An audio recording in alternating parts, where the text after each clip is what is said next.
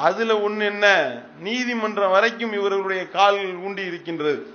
இவர்களுடைய இந்த நயவஞ்சக வேலையை நீதிமன்றத்துக்குள்ளேயும் உள்ள புகுத்துறான். இந்த நேற்று அலகாபாத் உயர் நீதிமன்றம் தீர்ப்பு சொல்லியிருக்கிறான் என்னது? அதாவது முத்தலாக் என்பது வந்து இஸ்லாத்துல கிடையாது. அந்த முத்தலாக் என்ற பெயர்ல பெண்கள் வந்து கொடுமைப்படுத்தப்படுகின்றார்கள். அதுக்கும் திருமறை குரானில் உள்ள சட்டத்திட்டத்துக்கு எந்த சம்பந்தமும் இல்லை. திருமறை குர்ஆனுடைய சட்டத்திட்டத்திற்கு மாற்றமாகத்தான் இந்த முத்தலாக் தலாக் தலாக் தலாக்னு ஒரே நேரத்தில் தலாக் சொல்றது இருக்கு. அதனால அது செல்லாதுன்னு அறிவிச்சான். இது ஓகே இது பிரச்சனை இல்லை. இதோட நிப்பாட்டி இருந்தா நீங்க சரியான ஆளு. ஆனா என்ன சொல்றான்? அரசியல் சாசன சட்டத்துக்கு முன்னால தனியார் சட்டம் என்பது வந்து அது மேலானது கிடையாது. தனியார் சட்டத்தை தூக்கி போட்டணும். அரசியல் சாசன சட்டம் தான் நமக்கு முக்கியம். அப்படின்னு சொல்லி இவன் தீர்ப்பு சொல்றான்னா அப்ப இதுலயும் வந்து மோடியினுடைய கை இருக்கிறது.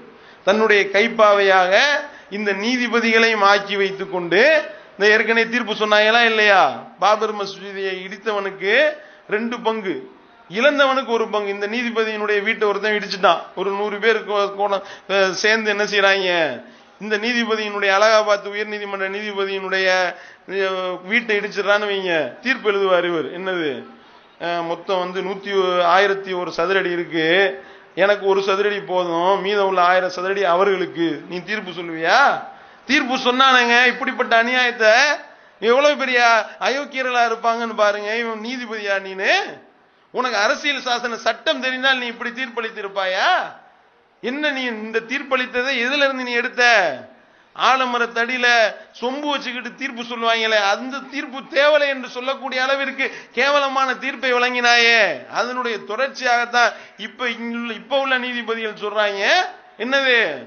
அது வந்து அரசியல் சாசன சட்டத்துக்கு முன்னாடி தனியார் சட்டம் முஸ்லிம்களுக்கென்று த- சில சட்டத்திட்டங்கள் இருக்குல்ல இதெல்லாம் செல்லுபடி ஆகாது. இது வந்து அரசியல் சாசன சட்டத்துக்கு கீழே உள்ளதுதான். அரசியல் சாசன சட்டம் தான் மேலானதுன்றிய அடே கூமுட்ட சிந்தித்து பாரு. அந்த எந்த அரசியல் சாசன சட்டம் மேலானது என்று நீ சொல்கின்றாயோ அந்த அரசியல் சாசன சட்டம் தான்டா சொல்லுது. எங்களுக்கு தனிநபர் சட்டம் வேணும்னு. அப்ப நீ உண்மையிலே அரசியல் சாசன சட்டத்தை மதிக்கிறதாக இருந்தால் முஸ்லிம்களுக்கென்று தனி சட்டத்திட்டம் இருக்கு. திருமறை குரான் அடிப்படையில் அவங்க தீர்ப்பு பெற்றுக் கொள்ளலாம். நபிகள் நாயகத்தினுடைய வழிமுறையின் பிரகாரம் தீர்ப்பு பெற்றுக் கொள்ளலாம் நீ சொல்லணும்? நீ உண்மையிலே அரசியல் சாசன சட்டத்தை மதிக்கிறதா இருந்தா அப்ப நீ அரசியல் சாசன சட்டத்தை கேவலப்படுத்தி இருக்கிறாய். நீ எது மேலானது என்று நீ சொன்னாயோ அதனே நீ கேவலப்படுத்தி தீர்ப்பளிச்சிருக்கிறன்னா நீ ஒரு நீதிபதியா என்று சொல்லி முஸ்லிம் சமுதாயம் கேட்க விரும்புகின்றது.